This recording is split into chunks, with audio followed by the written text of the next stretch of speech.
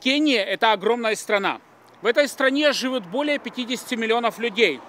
И христианство в Кении находится всего лишь около 150 лет.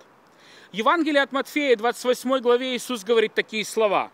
«Итак, идите и научите все народы».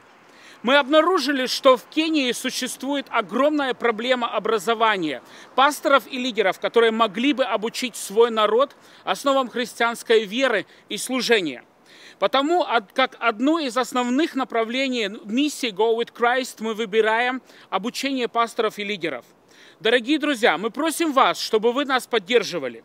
Мы просим вас, чтобы вы молились, и точно так же люди, которые имеют соответствующую квалификацию и соответствующую знания в направлении образования пасторов, чтобы вы присоединялись к нам в Кении. Нам очень нужна ваша помощь. Мы хотим открыть несколько таких образовательных точек в округе города Китала, в горных районах, где мы сможем достигать горной церкви.